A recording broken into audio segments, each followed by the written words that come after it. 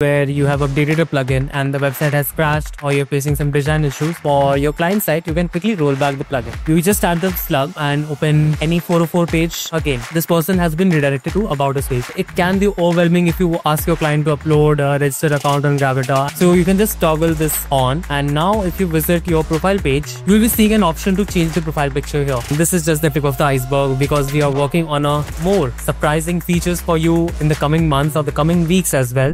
Hello everyone, we are back with the next update for Nexter extension where we have added total 11 new features and in this video I'll be walking you through all the new features and how they will be helping you with uh, your WordPress website.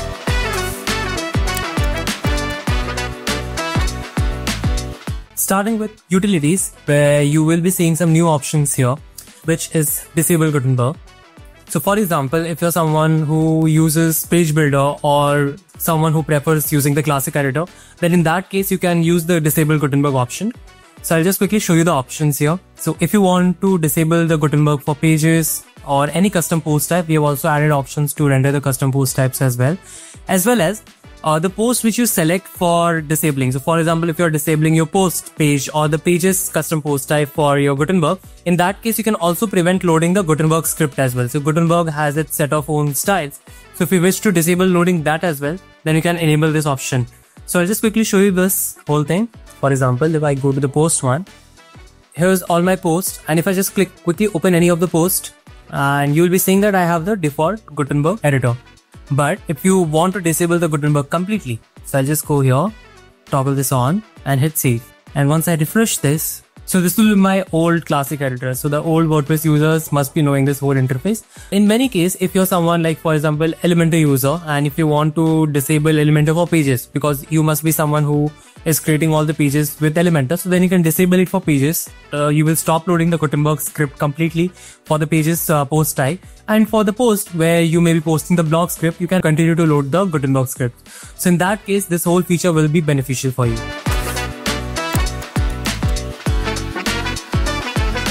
Coming to the next option, which is the content post order. This will help you reorder the whole post. For example, if I go to the post page you see that by default they are all modified with when the date they have been posted. But in some cases if you want to keep a certain post on the top it can be your any important blog which you must be updating often. So anyone there can be multiple use case for this. So if you want to make any post or any page or even a custom post type if you want to make sure that that particular thing stays on the top you can just come here. I'll quickly go to the settings. And for which one do you want to enable? So for example i'll click on post as well as pages. Now I'll go to my post page. Now you will be seeing a toggle icon here. So for example, if you want to make this post on the top, you can toggle this on the top. If even if I refresh or create new content which I have made it on the top, they will be on the top. So this way you can order the custom post type manually or according to your wish rather than depending on the default published date.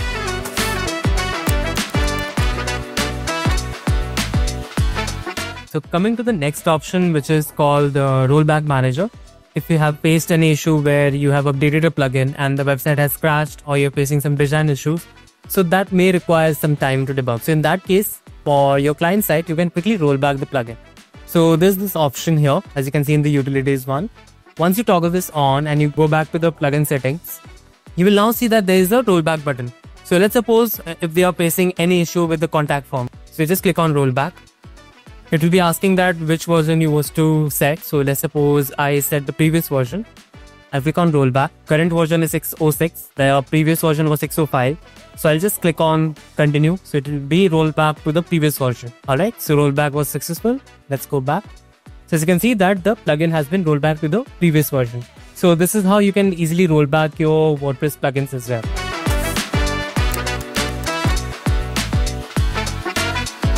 So this is a freemium option. In the free version, if you toggle this on, this will redirect to a home page. But in the pro version, we have given you an option to redirect to a particular page. So you can add the link here. Uh, to show you quickly, you can go to pages and you can add any of the slugs there. So for example, by default, whenever I open any of my page, so this is my 404 random content, right? So you don't wish to show this particular page to your users. So you can redirect your 404 page content either to homepage or a particular URL. So for example, I wish to redirect all the 404 page to my about us page. So I'll copy this slug and I'll get back to my settings and add my slug here.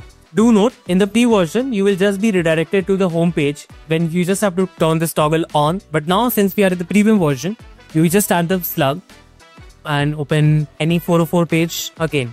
So see, this person has been redirected to about us page. Similarly, if you want your visitors to see some another content whenever there is a not found page, then you can set it from here.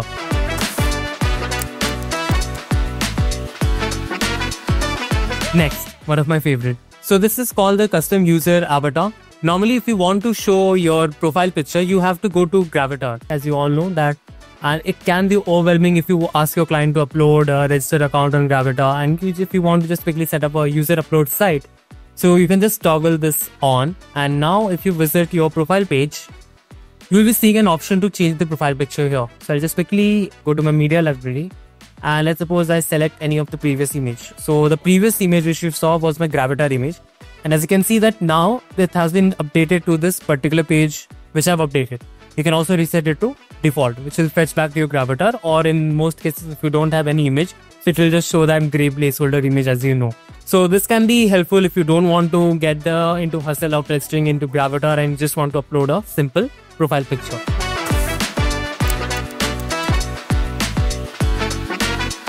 Okay, so the next feature is the public preview of draft. When you're working on your website and your client wishes to see the draft version of it and you don't want to publish the website. In that case, you can enable this option. So this will be sharing a public link where your client can see the draft. The blog is not posted, but there will be a unique link generated which your client will be able to access for the particular days you set. So for example, it's enabled only for the five days and let me enable it for the post. Normally because it's usable for the blog post only. So as you can see, there's a new option called your public preview for only available for the draft, right? Since it's, it's in the draft stage. So I click on public preview and this is the link.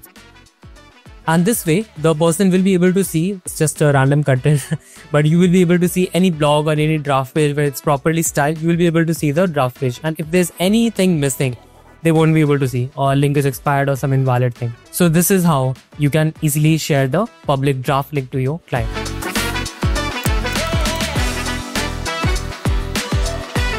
Next feature, which is called the replace media. Many times you may upload an image on your website and you wish to replace them. So without going to manually replace the images one by one, you can easily replace the images globally. So I'll just turn this on and then go to your media pages.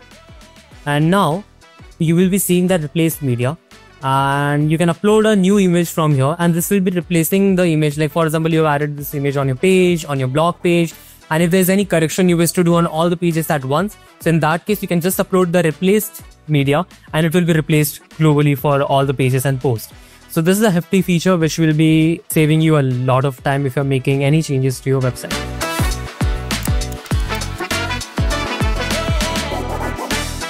Alright, so moving to the performance tab, we have added two new options called revision control and heartbeat. So as you know that whenever you make changes to your post, WordPress stores the previous version copy as well. So just to show you quickly, I'll go to posts. If I show you here, the revisions are stored. If someone was to roll back to the previous version, as you can see, revisions are here. All the changes which has been done, any title change, any text change, they are being stored. And if you don't delete them, they keep piled up and some in some cases they go to 100 or even 1000 revisions for posts as well.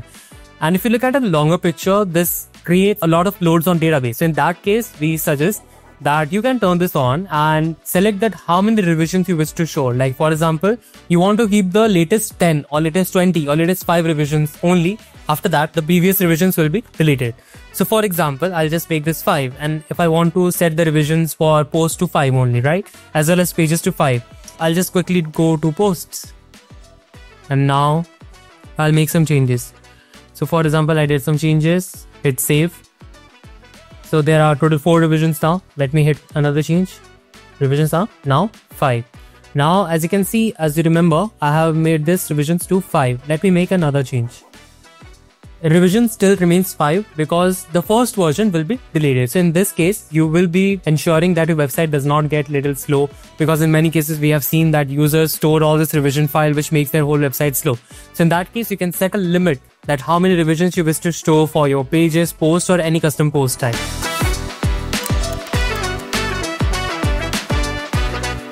Moving on to the next feature which is called heartbeat control.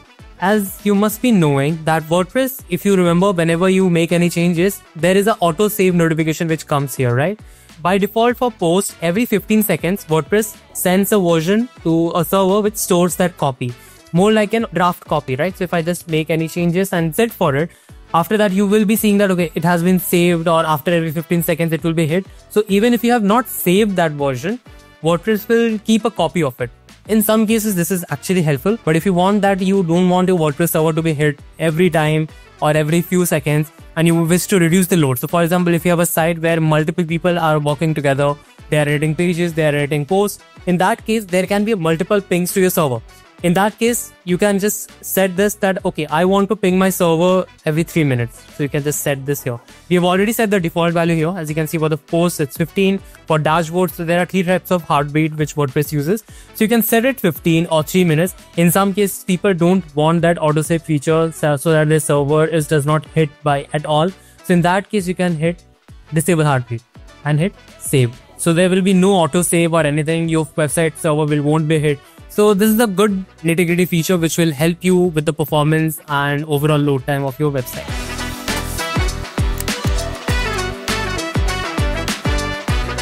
So moving on to security, we have added two new features there. So one is the SVG upload. So previously, I'll just show you if I go to media and let me quickly download a SVG file. Alright, so we have downloaded the SVG and now we'll be trying to upload the SVG file on a website. So as you can see, the WordPress won't be allowing it because it's normally SVG files are restricted to be uploaded on the WordPress website. Now I'll be going to the dashboard security and enable the safe SVG. Okay. We have also given user permission that not everyone can upload it. So for example, I'm an admin, so only an admin or maybe your web designer who is an editor, only those people can upload it. Rest won't be able to upload it. So let's get back to our media library. And now since I'm admin, I'll be uploading the SVG file. So the SVG file is uploaded. So this is a good feature which will be helping you and do note that we have ensured all the security standards are maintained. We sanitize the SVG and until there is no malicious code, we won't be uploading it. So it's a very good security feature. So if you're someone who uploads SVG uh, files, so you can use our SVG upload and make sure that those are not malicious SVG files which can take over your website. So it's a good security feature.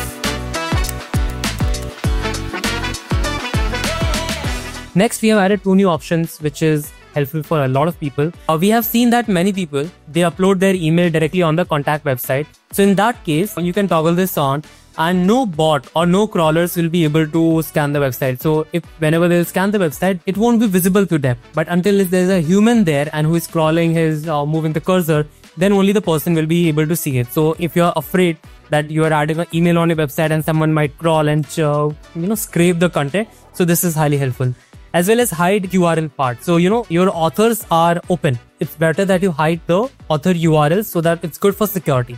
So these are some minor security improvements which we have added to make sure that the WordPress that is more hardened.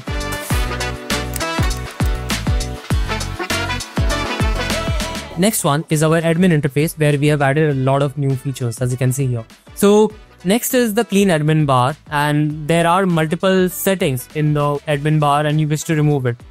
So if you want to remove this, howdy. And there are multiple things. You need a very clean stuff. So you can have a clean admin bar. So I'll just show you right now. So my admin bar is now clean. There is no howdy, nothing. It's just the template list. So you can optimize and clean the admin bar from this whole feature.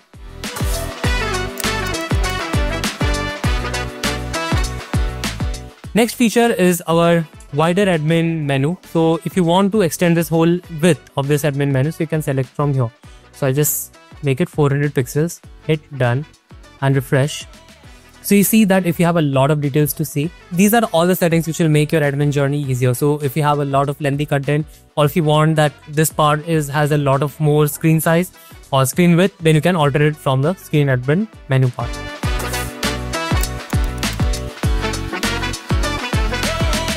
Then there is this user profile cleans. Okay, so I'll just quickly show you.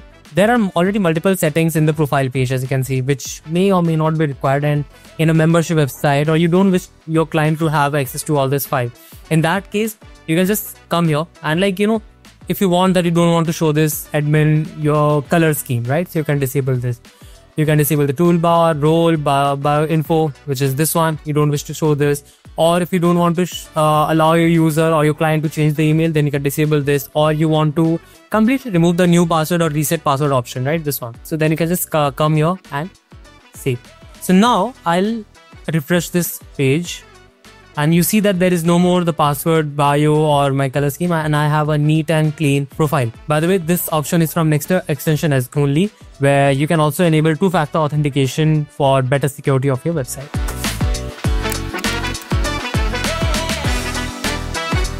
Next, you have multiple plugins, right? So in, for example, in some website, there are 50, 60, or even we have seen 100 plugins, but it can be a lot of time juggling two plugins. And if you want that your active plugins are on the top, so you can just simply come here and select this option. So now when I refresh this page, only the active plugins which are being used on the website, they will be on the top and the inactive or the deactive plugins will be at the bottom. So very minor thing, but this will be helping you with user experience where you want to see only the important plugins on the top. So this is the option for that.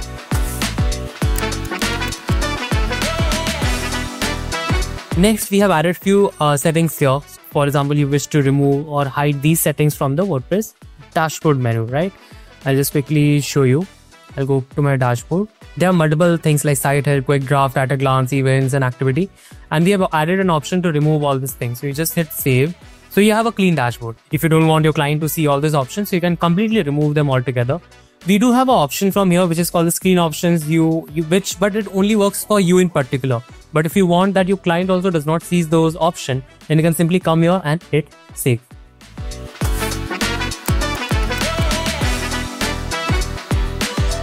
So right, so this was all the new options in the Nexter extension and this is just the tip of the iceberg because we are working on a completely new version of code snippets. If you have been using our code snippets very actively, and I have a good news for you that the code snippet is going to get a massive update in the next release, as well as we are adding more surprising features for you in the coming months or the coming weeks as well, which will be making your WordPress experience overall better and faster.